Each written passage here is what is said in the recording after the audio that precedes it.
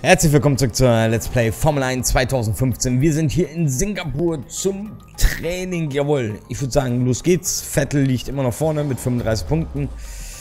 Äh, Einstellungen sind auch alle gleich. Jawohl, es gab wieder Updates. Bin mal gespannt, ob alles noch rund läuft oder ob es Probleme gibt. Natürlich habe ich wieder ein Setup rausgesucht hier für Singapur. Da bin ich sehr gespannt, wie es denn hier gleich weitergehen wird. Komm. Ja, am Wochenende war ja Italien ein absolut geiles Rennen gewesen. Ich fand es gut. Und schade für Nico Rosberg, dass der Motor kaputt gegangen ist. Aber man hat mal gesehen zum Schluss, was der Mercedes-Motor wirklich noch kann. So. Es ist fast 18 Uhr hier in Singapur und das heißt, es geht gleich mit dem Training des heutigen Tages los. Die Sonne ist untergegangen und die Strecke wird von extrem starken Flutlichtern erhellt. Alles ist bereit für ein großartiges Formel-1-Erlebnis. Man muss schon sagen, seit dem Eröffnungsrennen 2008 war Singapur ausgesprochen erfolgreich. Hier fand schließlich das erste Nachtrennen in der Formel-1-Geschichte unter riesigen Flutlichtanlagen statt. Und die spektakulär ausgeleuchtete Strecke ist immer wieder ein einmaliges Erlebnis, sowohl für die Fahrer wie auch für die Zuschauer. Es ist natürlich gut für den Sport, wenn das Rennen dann anfängt, wenn möglichst viele Zuschauer vor dem Fernseher sitzen. Aber wenn der Startzeitpunkt so einen wunderbaren Effekt auf das Rennerlebnis hat, wäre ich nicht überrascht, wenn es in Zukunft nicht mehr Nachtrennen geben würde. Eine Strecke wie diese verspeist Hinterreifen quasi zum Frühstück. Jedenfalls sagen das die meisten Fahrer, die sich damit ja auskennen. Hier zählen sowohl die Eigenschaften des Fahrzeugs als auch der Fahrstil. Es gibt eine Reihe von langsamen Kurvenausfahrten, bei denen die Hinterreifen jede Menge Energie übertragen. Die Fahrer müssen geschickt mit dem Gas spielen, damit die Reifen nicht zu sehr durchdrehen. Sonst besteht Rutsch- und Überhitzungsgefahr und die Reifen können stark verschleißen.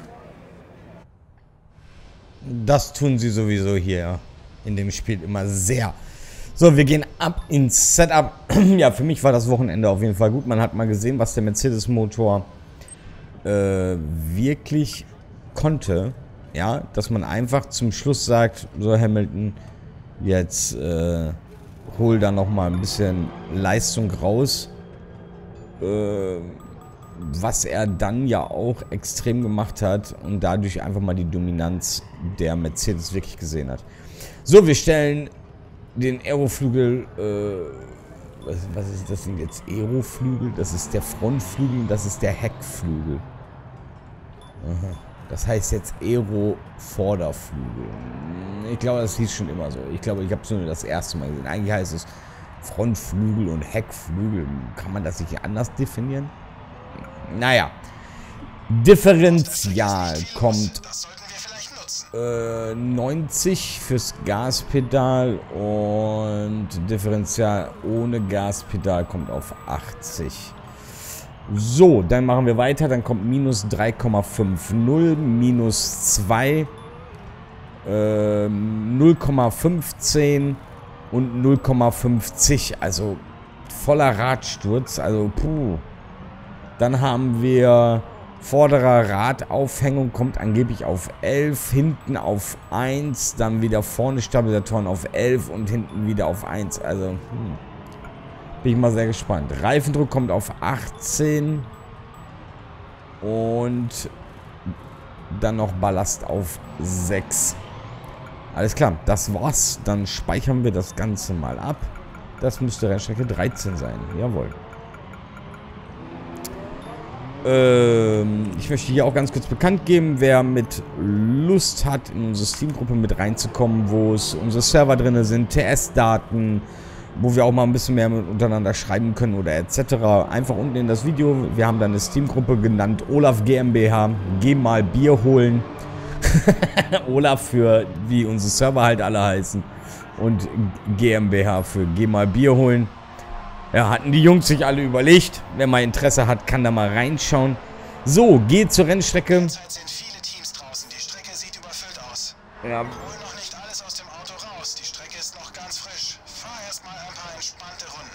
Das ist mir egal, weil die Vorhersage sagt, dass wir leichten Regen kriegen sollen. Deswegen jetzt erstmal raus und ein bisschen üben. Singapur ist auf jeden Fall eine Strecke, die ich absolut nicht beherrsche. Tue ich mir immer etwas schwer drauf. Gerade weil ziemlich viele langsame, schnelle Kurven, äh, dann eine ganz langsame rum und dann wieder sowas in der Art wie Monaco kann man schon fast sagen. Alles ein bisschen eng. Ich mag es lieber altmodisch. Es ist in echt ist es nicht so, also zuschauen, aber im Spiel schon.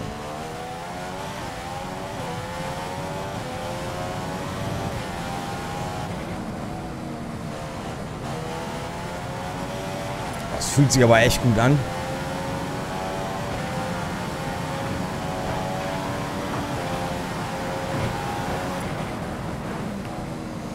Das könnte äh, in zwei Wochen auch ein Rennen sein, wo die Red Bulls extrem stark sein könnten. Meiner Meinung. Da bin ich mal gespannt, ob Daniel Ricciardo dann mal wieder zeigen kann, was er wirklich kann mit dem Red Bull. Weil aerodynamisch mäßig müsste der Red Bull immer noch saumäßig stark sein.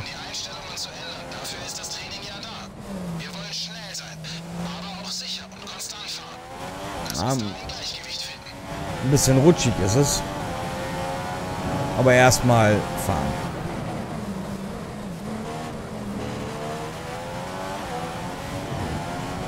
Ja, und am Wochenende konnte man ja mal den Unterschied oh, von dem reellen Reifen wechseln und das, was hier im Spiel ist. Also hier im Spiel ist auf jeden Fall viel zu großer Abrieb, was mit den Reifen zu tun hat. Äh, da muss Codemaster mal ein bisschen nacharbeiten, finde ich. Ja, einen Boxenstopp machen sie in Real Life und wir mussten viel, viel mehr machen. Also daher mal ein bisschen abwarten, wie sie das hier irgendwann mal handhaben. Ich finde, so wie jetzt das Spiel raus, jetzt draußen ist, könnte man es veröffentlichen. Also wieder zu früh ein Spiel veröffentlicht. Naja. Aber darüber beschweren möchte ich mich eigentlich nicht, weil mir macht es schon Spaß. Oh. Ein bisschen zu viel eingelenkt. Vorderreifen wären etwas zu warm und nicht die Hinterreifen.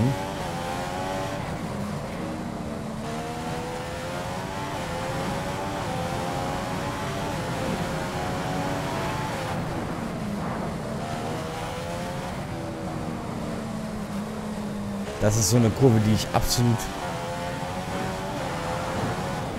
Oh. Problem ist, dass wir einfach ein zu großes Problem jetzt mit Vettel haben. Also ich glaube, dass die Meisterschaft wir persönlich nicht mehr gewinnen können. Aber aufgeben tue ich trotzdem nicht. Man weiß ja oh, nie optimalen einen Ausfall hat Vettel oder so, dann kommen wir ja mit Riesenschritten ran.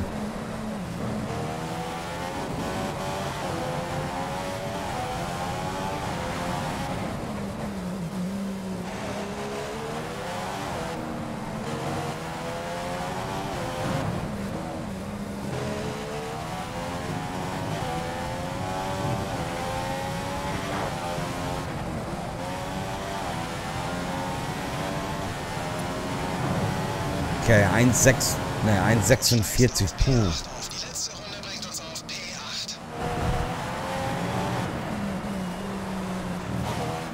Ziemlich langsam.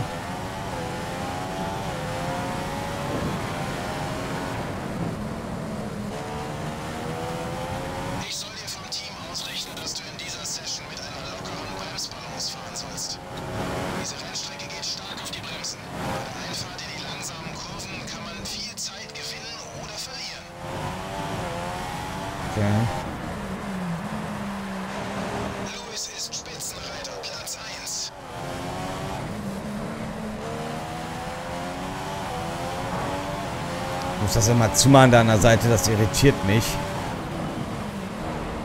Bremse auch viel zu früh.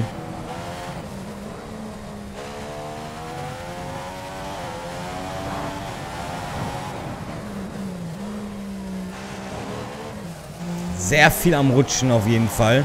Trotz dass die Reifen gute Temperatur haben, immer am Rutschen.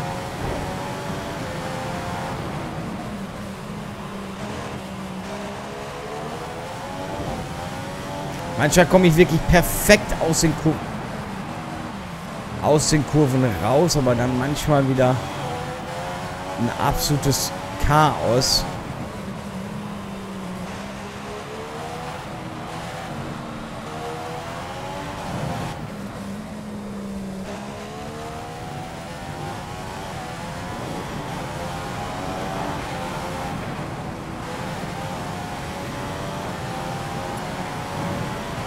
Eins siebenundvierzig. Sektor 2.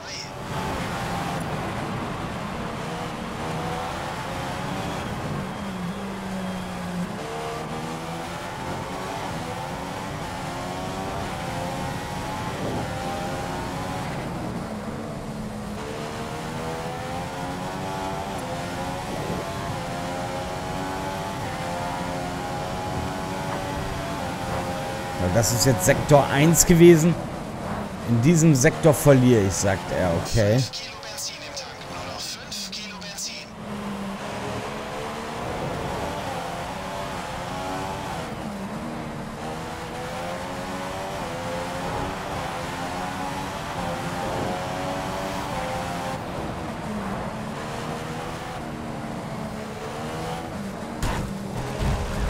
Och komm! Mann! Ganze Zeit ist er so schnell gefahren wie wir und dann auf einmal tuckert er da vor sich hin. Das ist halt einfach ein Schwachpunkt bei mir. Schon wieder eine Sekunde zu. Ja gut, das lag natürlich jetzt an dem an mir selbst, weil ich wieder mal wieder zu gierig war.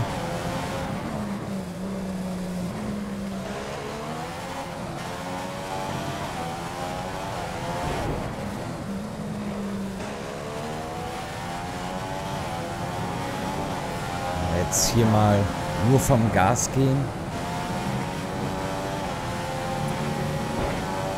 1,47 wieder. Zwei sind in Ordnung, aber du verlierst viel Zeit in Sektor 2.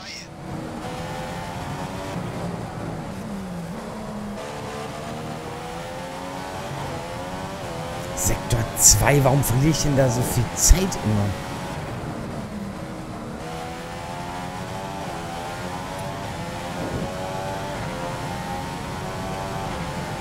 Da jetzt einmal gucken hier, Leute. So, jetzt ist das Sektor 1 gewesen. Jetzt kommt Sektor 2.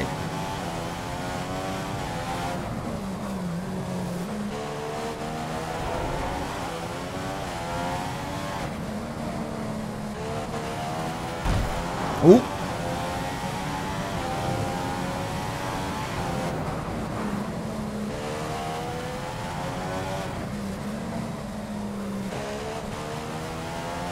Ja, ich würde sagen, da in diesem Geschengelten verliere ich alles.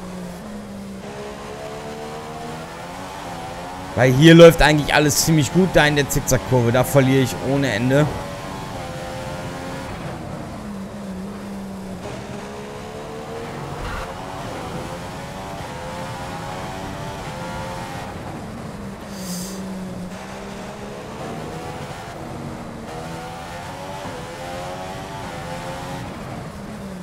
Eieiei.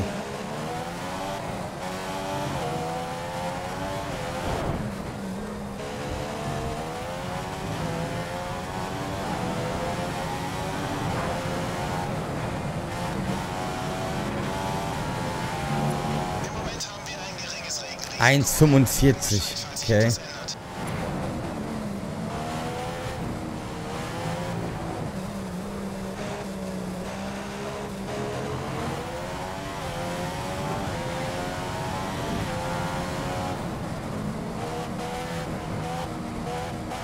Boah, das war aber absolut letzte Rille, Leute.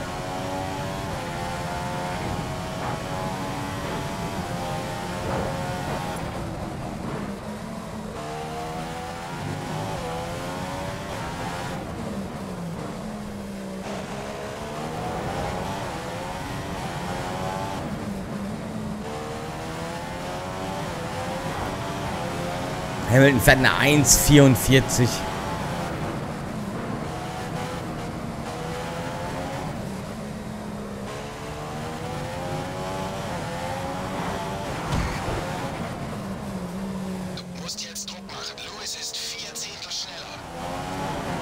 Ah, das ist echt schon viel, also da muss ich dem jetzt vollkommen recht geben.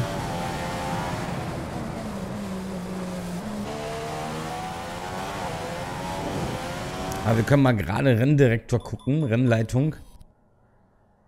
Auch alles... Puh. Also das ist hart.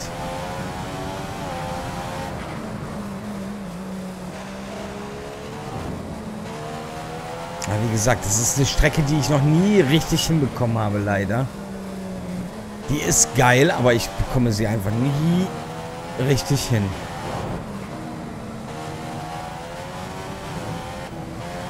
Oh. Und das hier war früher ein Problem. Hier habe ich, glaube ich, fast jedes Rennen das Auto rangeschlagen. Ne? Ich glaube, 2014 ist es mir passiert und 2013 glaube ich auch. Glaube schon. Also zufrieden bin ich nicht. Also der Setup-Typ hat eine 1,44, 1,39 in der Qu also Qualifikation, Lap-Time, also seine beste Zeit, die er gefahren ist. Also wenn man nimmt eine 1,45, also ich könnte 1,1 Sekunden, 1,2 Sekunden schneller fahren. Mm, was wir ja auch eigentlich immer schaffen. Also eigentlich fahre ich schneller wie derjenige, der das Setup baut. Ähm, daher bin ich nicht ganz so zufrieden. Also ich würde schon noch gerne noch mal zwei, drei Runden auf den weichen Reifen fahren. Ähm, gucken aber trotzdem uns mal die Info ganz kurz an und schauen uns das mal alles an. Ja, Lewis ist im ersten, zweiten und im dritten Sektor sind wir schneller. Also, und dann fehlt uns schon gut eine halbe Sekunde. Also, erster Sektor verlieren wir auch drei Zehntel. Im zweiten Sektor sind es fast vier Zehntel. Dafür holen wir dann im Vierzehntel, also weil wir im zweiten Sektor verlieren, im dritten wieder raus. Aber das, was wir im ersten verlieren, bleibt. Hm. Liegt aber an mir. Also ich bin der Meinung, das liegt eindeutig an mir. Ich kriege das nicht so schön gefahren, wie ich es gerne hätte. Ich würde gerne noch mal eine Runde auf Weich nehmen würde sagen, dass wir dann nochmal rausgehen, gehe zur Strecke und aber wir machen äh, Rausfahrt. Einfach äh, aus dem Grund, ich möchte gerne sehen, wie die Ausfahrt aus der Boxengasse ist. Da haben wir letztes Mal, habe ich da auch nicht so gut geübt.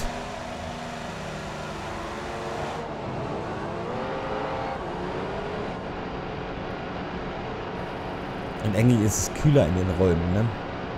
Also ich muss ja euch ganz ehrlich sagen, also es ist entspannter. Ja. So, beschleunigen.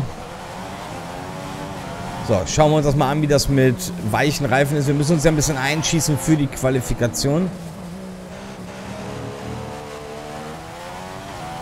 Lassen aber die Drehzahl normal, also spielen nicht mit vollen offenen Karten.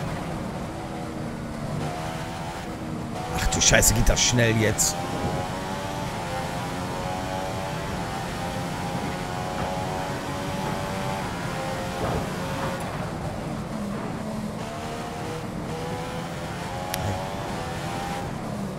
dürfen wir nicht. Alles klar, ich wollte gerade sagen, da dürfen wir ziemlich weit rausfahren, ohne das zu meckern. Dann hätte ich das natürlich ausgenutzt gerne.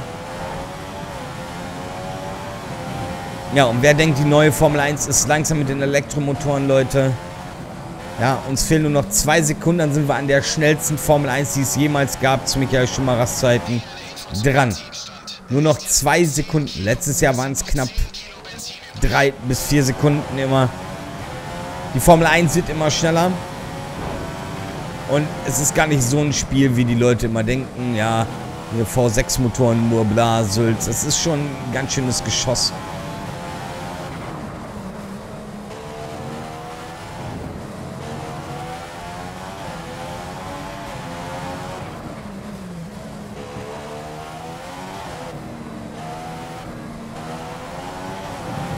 Man muss so nehmen, dass die Formel 1 zu den V8-Motoren, die es vorher gab, schneller war.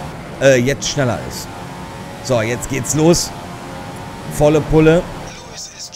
Ja, ja, halt jetzt die Schnauze. Jetzt bin ich dran hier mit...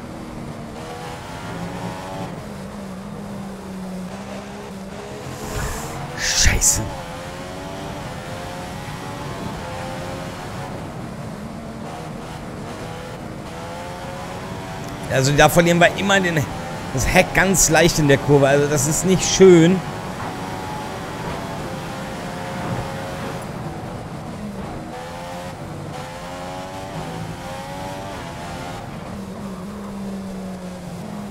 Lenkung wieder aufgemacht, war mein Fehler.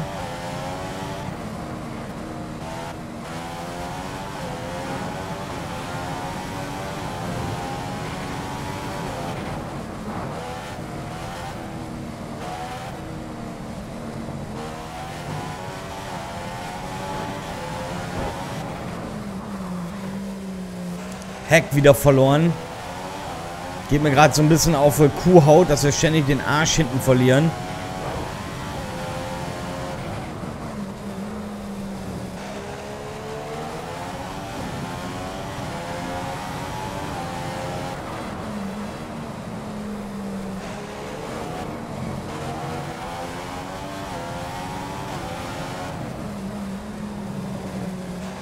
Wird etwas Zeit gekostet haben, auf jeden Fall.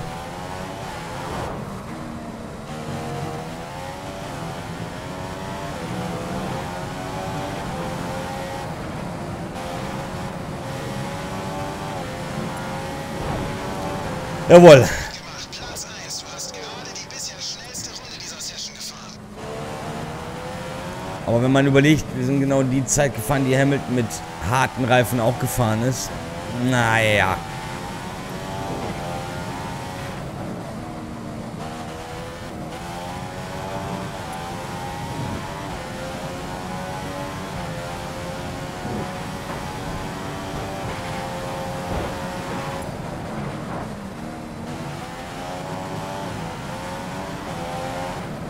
Uh, uh, uh, uh. Wieder verbremst.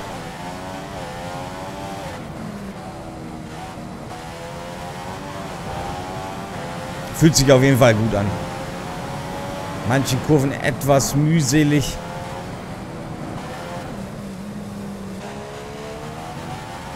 Aber es funktioniert, Leute. Wenn ich hier die Pole mir hole, dann könnten wir das, den Sieg nach Hause holen. Ich muss nur die Pole holen.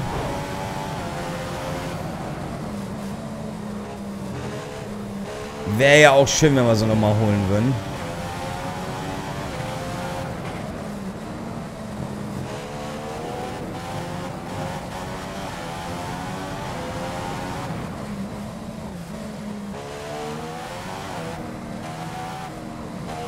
Finde, dass jetzt schon die Reifen vom Gefühl her abbauen.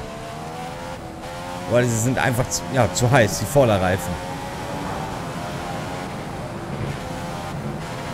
Oh. Das ist die bislang schnellste Runde. Gut gemacht.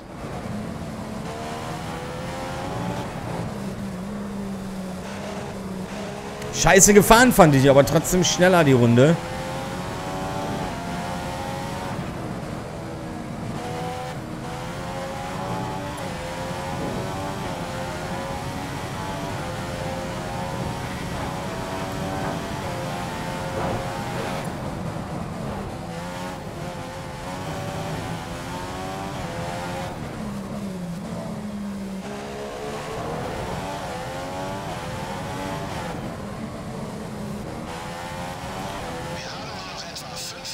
5 Kilo Benzin. Ja, ja, das ist nicht so schlimm. Also wir haben jetzt drei Runden gefahren und der Reifen hat noch kein bisschen abgebaut. Also wehe, das ist nachher im Rennen wieder anders hier. Echt.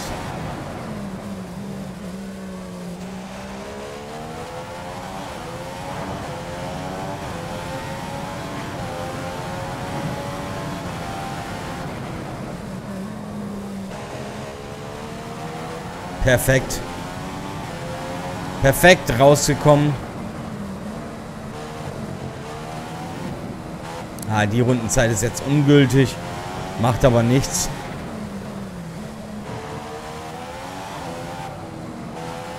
Ah. Lewis derzeit auf P2. Ja, ich würde gerne noch mal den Rennleiter aufmachen. Noch einmal ganz kurz reingucken, ob der Lewis denn jetzt schon... Nein, es ist noch keiner mit weichen Reifen gefahren. Hm. Dann werden uns noch einige abhängen. So, jetzt könnte ich hier rüber.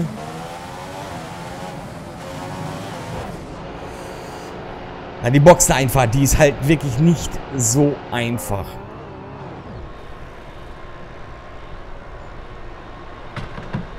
Es macht schon Spaß. Also, diese eine Kurve nur, wo wir schnell rum, da muss ich aufpassen im Rennen, dass ich da niemals den Arsch wirklich hinten verliere. Nicht, dass wir irgendwann mal da eine Mauer knallen während des Rennens. Das ist eigentlich das Einzigste. Und hoffen, dass sie irgendwas ein bisschen was verbessert haben, dass nicht die Reifen schwupps zu Ende sind. Ja, das ist so ein bisschen ein Nachteil. Aber sonst eigentlich alles super. Äh, Season Info. So. Ja, man, man, sieht es einfach, Hamilton ist wirklich im ersten und im zweiten Stint wirklich schneller wie wir. Im ersten nicht mehr ganz so schlimm. Und im, im dritten holen wir dann halt wirklich extrem. Also das ist fast eine Sekunde fahren wir im dritten schneller. Keine Ahnung, wie wir... Wahrscheinlich durch die letzte Kurve. Da hole ich wahrscheinlich viel, viel raus. Ähm, fühlt sich auf jeden Fall gut an. Ich würde sagen, Leute, vielen, vielen Dank fürs Einschalten ähm, bei Formel 1 2015 hier in Singapur zum Training. Mir gefällt's. Ich werde zur Qualifikation einblenden, wie das Training ausgegangen ist. Sage vielen, vielen Dank fürs Einschalten. Wir hören uns morgen zum Training wieder. Mein Name ist Gabur. Schaut mal bei Twitter und Facebook vorbei. Und äh, geht unten in die Steam-Gruppe. Da seht ihr dann unsere Server und dies und jenes. Und nicht vergessen, teilen, liken, subscriben und was weiß ich nicht alles, ja. Äh, bis denne. Tschüss.